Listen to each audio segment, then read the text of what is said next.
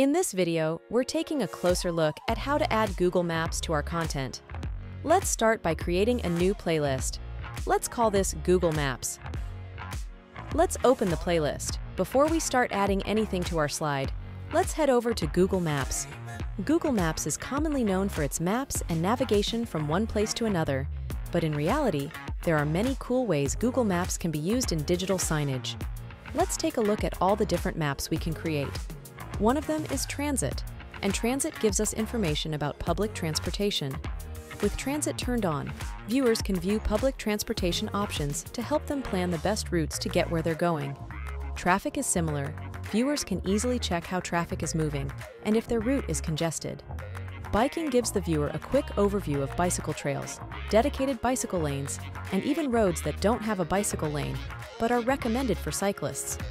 Terrain can give the viewer an idea of altitude in an area. Street View indicates all the known roads that have been scanned by Google. Wildfires show all registered wildfires and can be used as guidance when traveling to any destination. And lastly, we have Air Quality, where viewers can easily monitor areas for poor air quality. In this example, we're going to do something a bit more simple. Let's zoom in on San Francisco Click the menu on the left and then Share or Embed Map. In the pop-up, choose Embed a Map. We only need the URL, but in Google Maps, we're going to use Copy HTML. Let's go back to our editor.